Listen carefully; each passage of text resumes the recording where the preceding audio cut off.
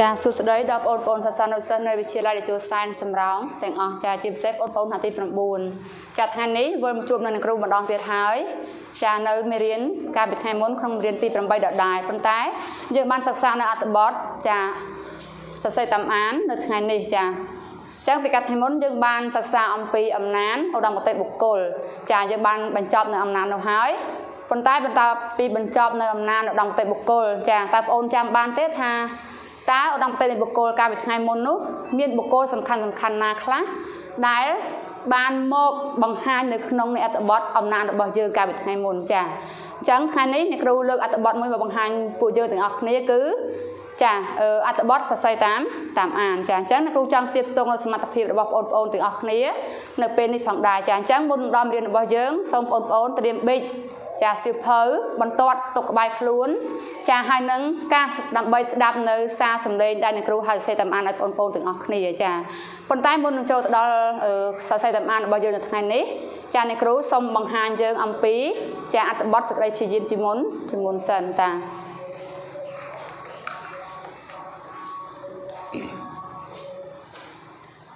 ចាកិច្ចការផ្ទះរបស់យើងកាលពីថ្ងៃមុនរួមមានណាចាឧត្តមគតិនៃបុគ្គលសំខាន់ ចាអញ្ចឹងបងប្អូនបានសិក្សារួចមកហើយអំពីអំណានគឺឧត្តមគតិនៃបុគ្គលសំសំខាន់ចាអញ្ចឹងតើបុគ្គលសំខាន់សំខាន់នៅក្នុងប្រទេសកម្ពុជាយើងមានអ្នកណា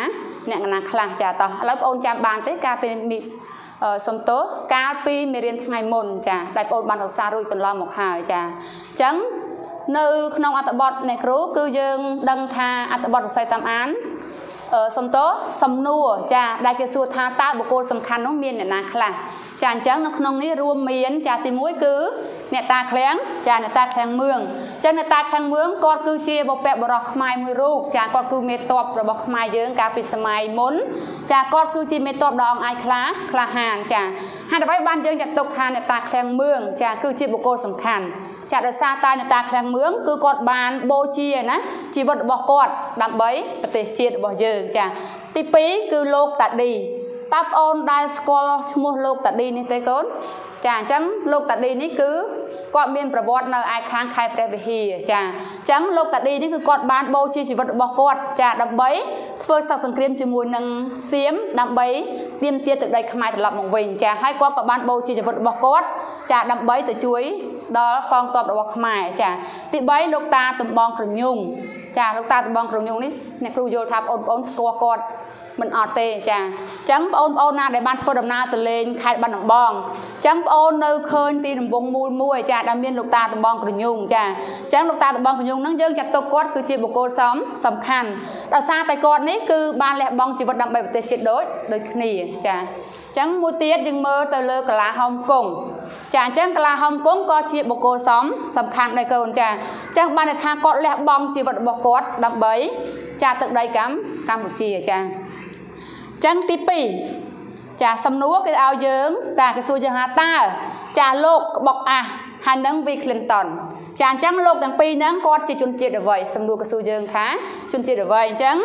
លោកទាំងពីរនេះគឺជាជនជាតិចាអង់គ្លេសចាអញ្ចឹងលោកទាំងពីរនេះបានធ្វើការតស៊ូយ៉ាងខ្នះខ្នាយបំផុតចា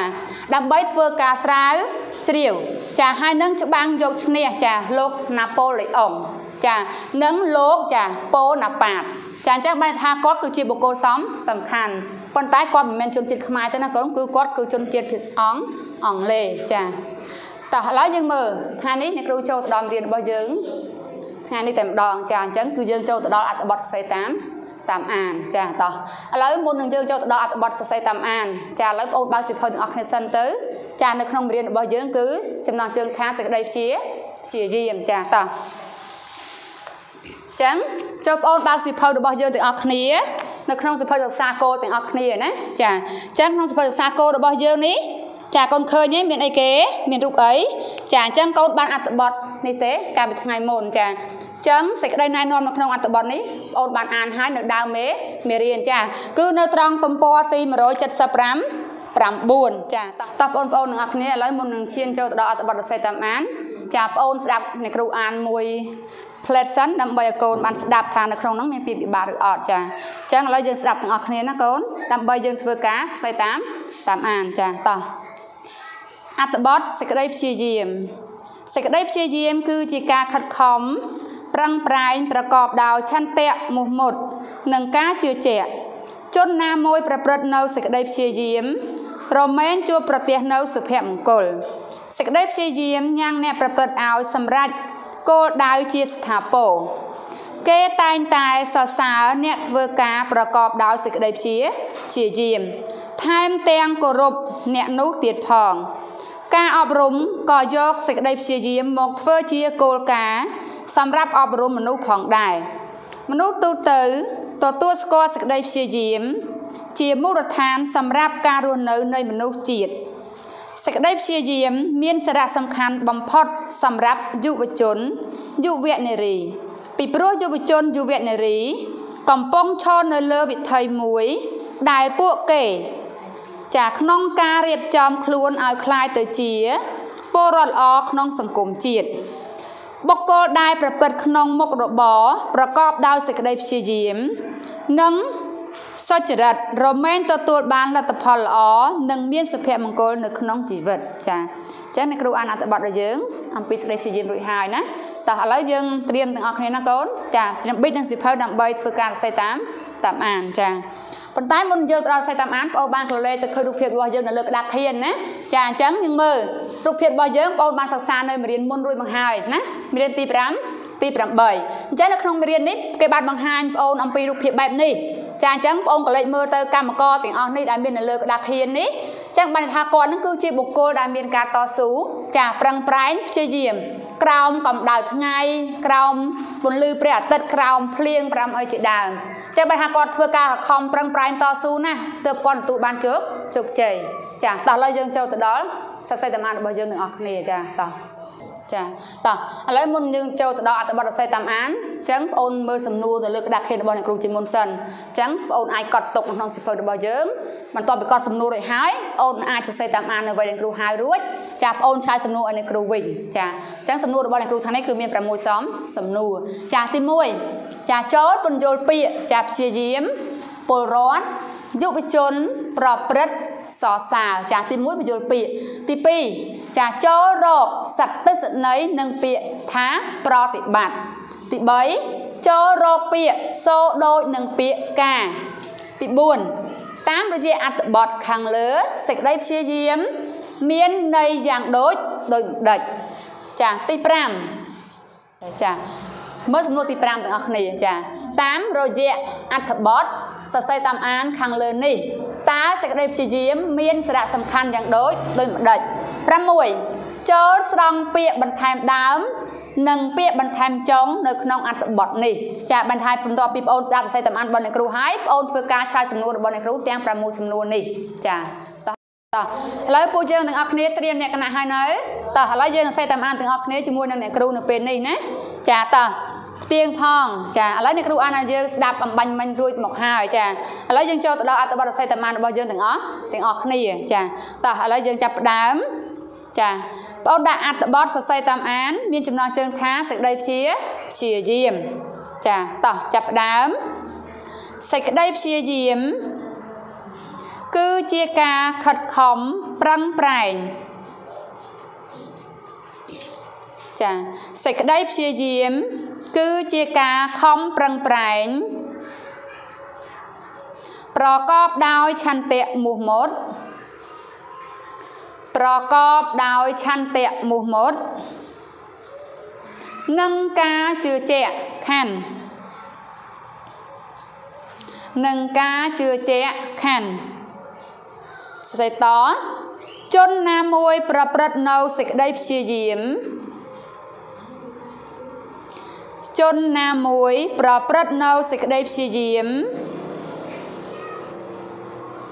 រមែងជួបប្រទះនៅសុភមង្គល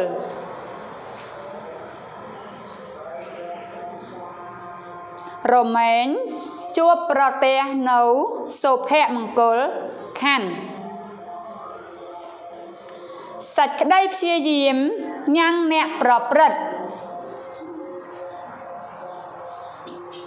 សេចក្តីព្យាយាមញ៉ាំងអ្នកប្រព្រឹត្តឲ្យសម្រេចគោលដៅជាស្ថាពរខណ្ឌឲ្យសម្រេចគោលដៅជាស្ថាពរខណ្ឌចាបងអូននិស្សិតតណាចាគេតែងសរសើរអ្នកធ្វើការ គេតែងសរសើរអ្នកធ្វើការ ប្រកបដោយសេចក្តីព្យាយាមប្រកបដោយសេចក្តីព្យាយាម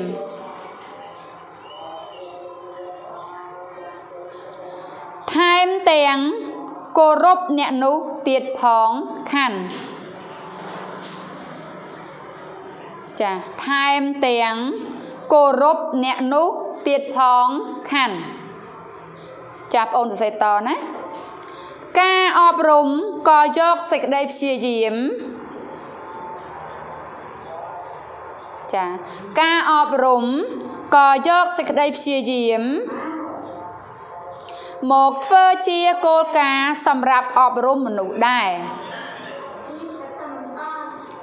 មកធ្វើជា គោលការណ៍សម្រាប់អប់រំមនុស្សដែរខាន់ចាខាន់មនុស្សទូទៅទទួលស្គាល់សេចក្តីព្យាយាមមនុស្សទូទៅទទួលស្គាល់សេចក្តីព្យាយាម ជាមូលដ្ឋានសម្រាប់ការរស់នៅ ជាមូលដ្ឋាន សម្រាប់ការរស់នៅ នៃមនុស្សជាតិខណ្ឌនៃមនុស្សជាតិខណ្ឌចាបងប្អូនអសេតណាចាសេចក្តីព្យាយាមមានសារៈសំខាន់សេចក្តីព្យាយាមមានសារៈសំខាន់ បំផុតសម្រាប់យុវជនយុវនារី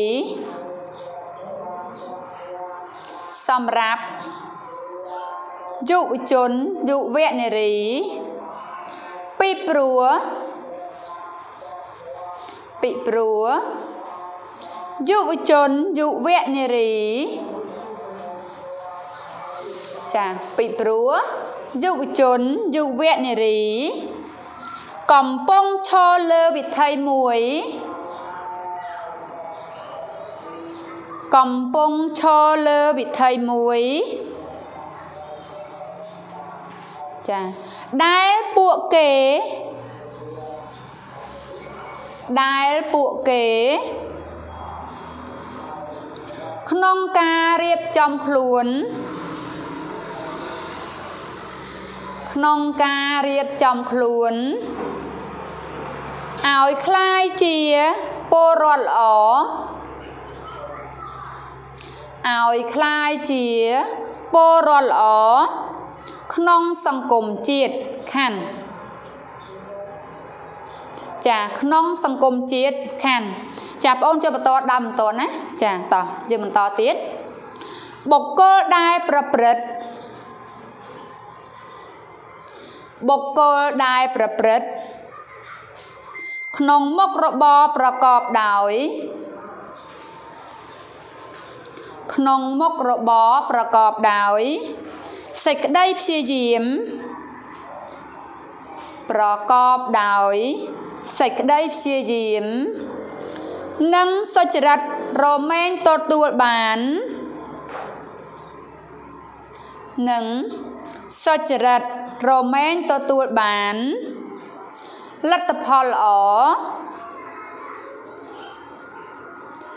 លទ្ធផលល្អនិងមានសុភមង្គលក្នុងជីវិតខានចានឹងមានសុភមង្គលក្នុងជីវិតខាន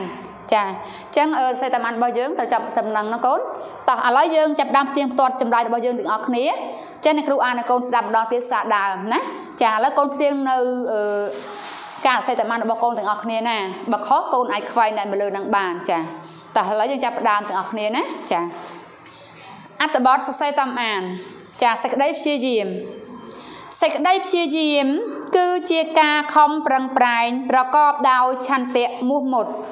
និងការជឿជាក់ខណ្ឌជនណាមួយប្រព្រឹត្តនៅសេចក្តីព្យាយាម រមែងជួបប្រទះនៅសុភមង្គលខណ្ឌសេចក្តីព្យាយាមញ៉ាំងអ្នកប្រព្រឹត្តឲ្យសម្រេចគោលដៅជាស្ថាពរខណ្ឌគេតែងសរសើរអ្នកធ្វើការប្រកបដោយសេចក្តីព្យាយាមថែមទាំងគោរពអ្នកនោះទៀតផងខានណាចាការអប់រំក៏យកសេចក្តីព្យាយាមមកធ្វើជាគោលការណ៍ សម្រាប់អប់រំមនុស្សដែរចាខាន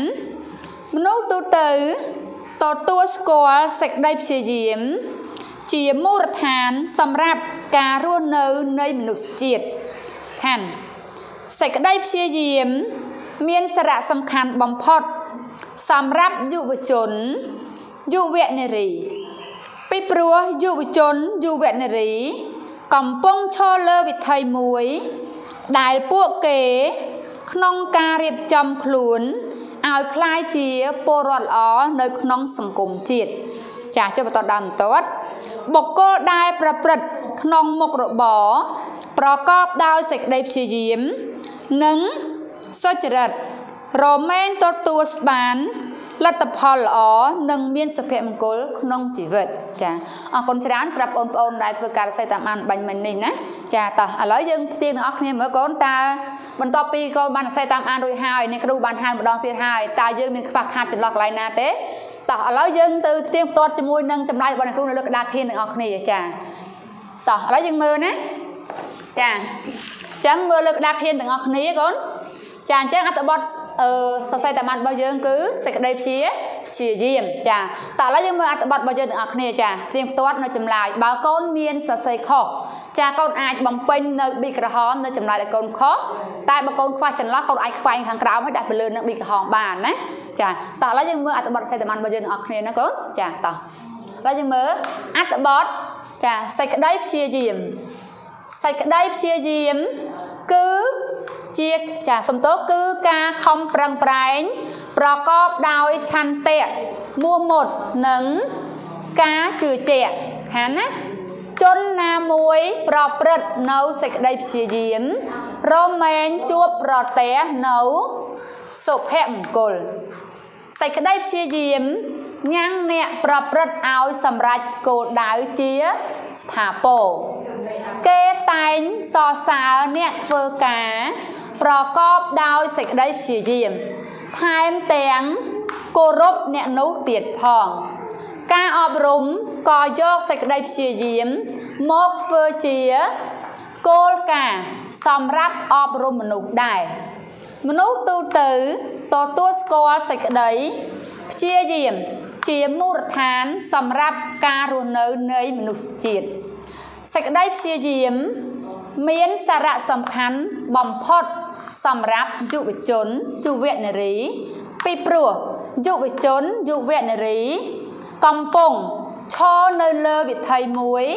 ដែលជួយពួកគេក្នុងការរៀបចំខ្លួនឲ្យคล้ายជាពលរដ្ឋល្អក្នុងសង្គមជាតិបុគ្គលដែលប្រព្រឹត្តក្នុងមុខរបរប្រកបដោយសេចក្តីព្យាយាមនិងសុចរិតរមែងទទួលបានលទ្ធផលល្អនិងមានសុភមង្គលក្នុងជីវិតចាសូមអរគុណច្រើនសម្រាប់ការសរសេរតាមអញ្ចឹង បើបងអូនសរសេរមានខ្វះខាតនៅចន្លោះកន្លែងណាបងអូនមើលនៅលើដាក់ខេនរបស់អ្នកគ្រូហើយបងអូនបំពេញនៅចំណុចខ្វះខាតរបស់បងអូនទាំងអស់គ្នាណាចាតោះឥឡូវយើងចូលដល់វគ្គសំណួររបស់យើងម្ដងវិញម្ដងចាឥឡូវយើងមើលទៅសំណួររបស់យើងចាអញ្ចឹងសំណួររបស់អ្នកគ្រូដែលបងអូនមិញគឺមានទាំងអស់6សំសំណួរចាអញ្ចឹងបងអូនអាចរៀនឆ្លើយដោយខ្លួនឯងក្នុងរយៈពេល5នាទីទៅតើកូនអាចឆ្លើយបានទេទាំងអស់គ្នាចាអញ្ចឹងតោះឥឡូវអ្នកគ្រូឲ្យចម្លើយរបស់យើងនៅលើក្តារខៀនទាំងអស់គ្នាចា ទី1គេឲ្យយើងរកបញ្យលពាក្យចាឲ្យយើងបញ្យលពាក្យនៅលើក្តារខៀនរបស់យើងចាអញ្ចឹងទី1អឺពាក្យថាជាព្យាយាមអញ្ចឹងព្យាយាមដាក់ពាក្យវិជ្ជនាមបានន័យថាប្រឹងប្រែងសង្វាតចាអត់ធ្មត់ចាអញ្ចឹងគឺជាការព្យាយាមចា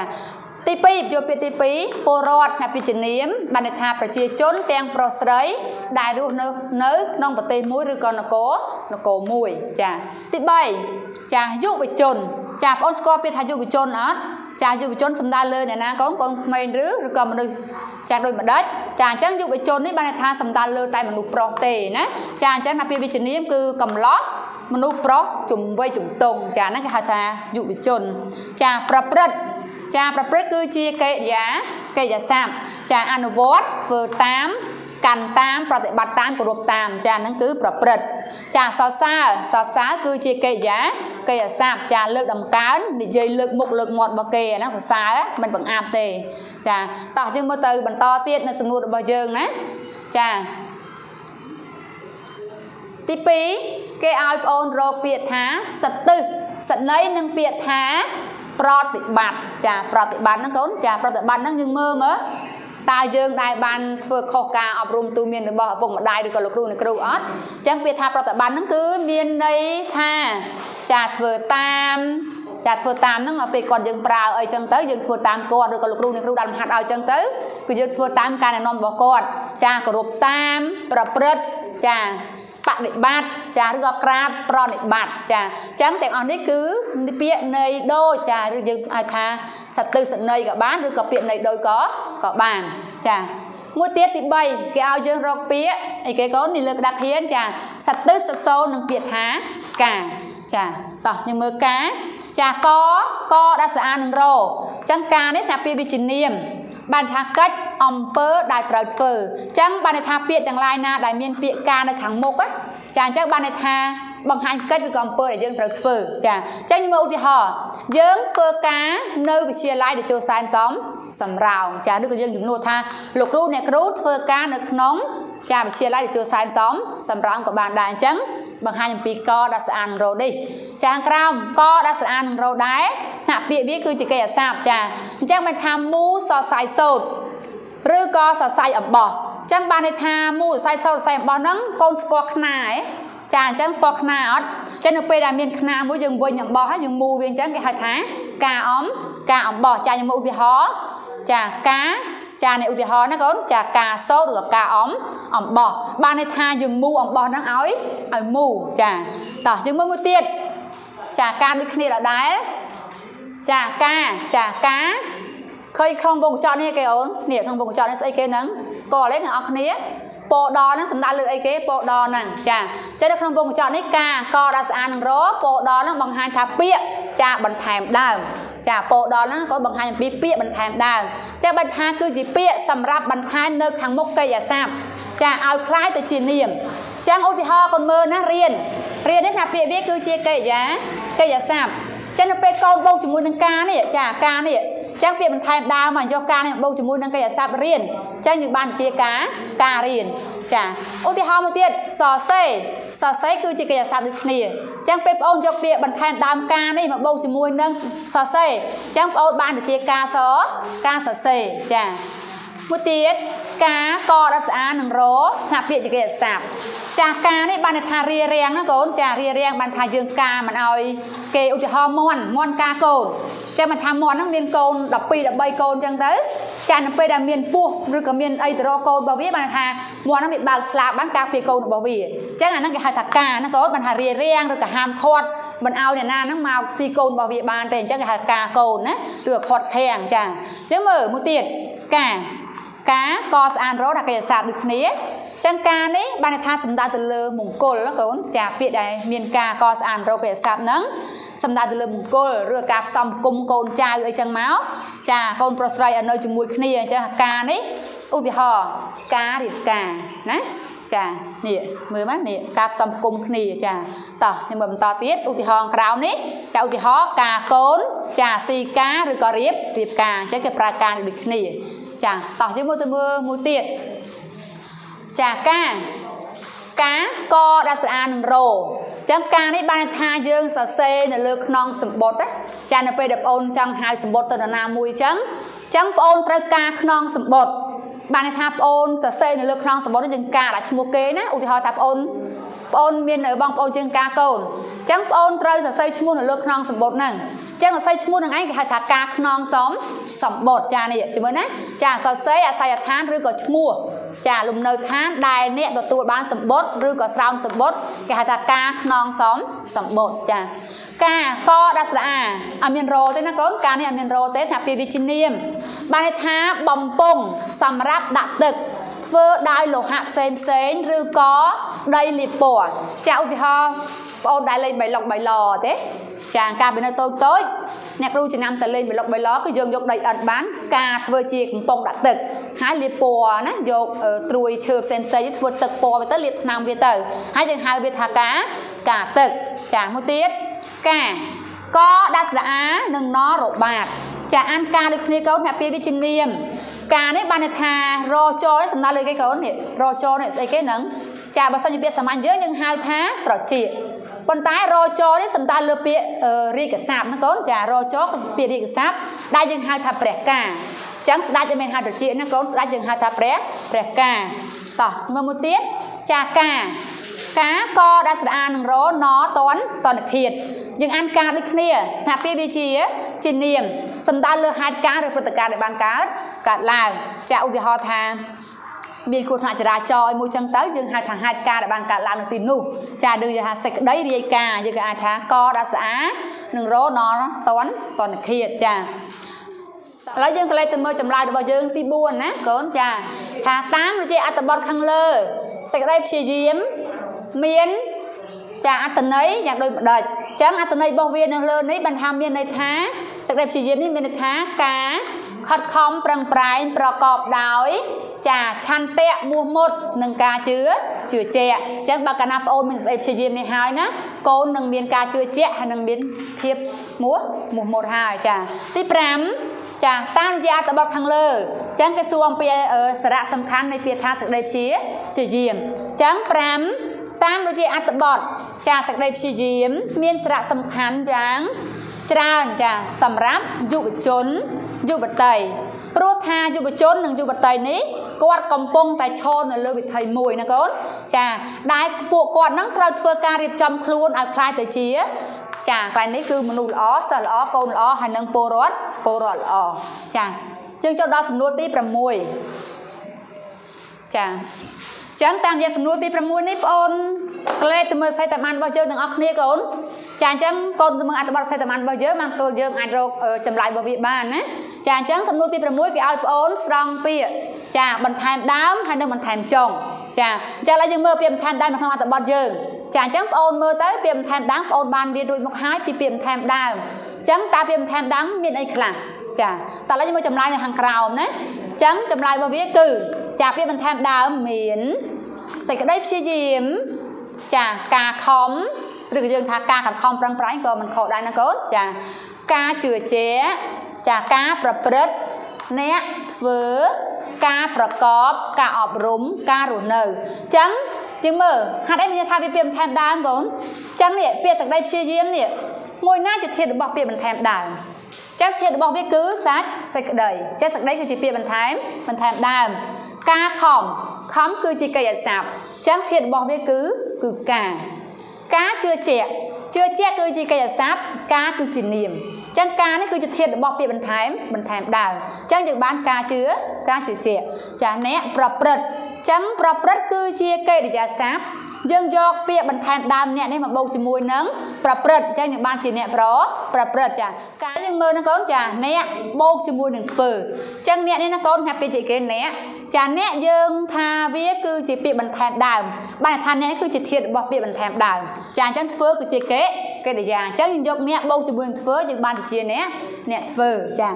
ការប្រកបចាអញ្ចឹងការគឺជាធាតុរបស់ពាក្យបន្ថែមដើមប្រកបគឺជាគេកិរិយាអញ្ចឹងយើងបានជាការប្រការប្រកបចាការអប់រំការរស់ការរស់នៅចាតោះហើយយើងមើលទៅដល់ពាក្យបន្ថែមចុងមួយទៀតកូនចា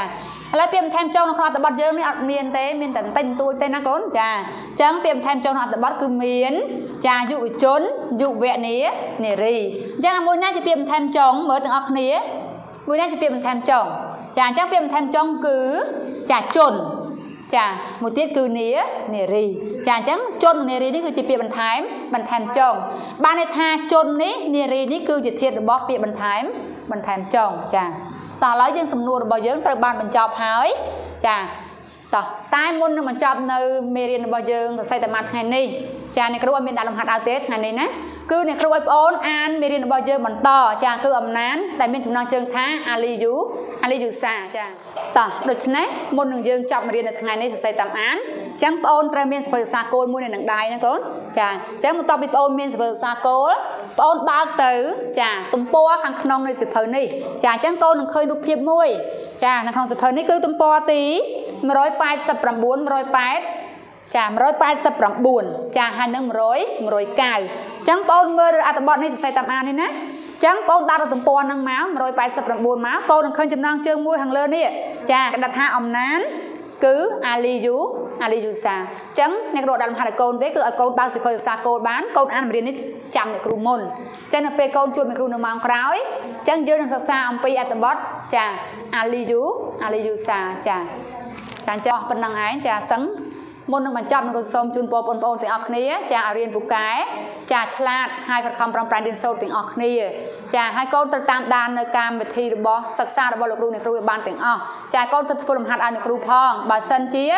មានលោកគ្រូអ្នកគ្រូណាដាក់ឲ្យណាចាអញ្ចឹងមុននឹងបញ្ចប់អ្នកគ្រូសូមជូនពរអ្នកទាំងអស់គ្នាទទួលបានជោគជ័យក្នុងការសិក្សាចាសូមអរគុណ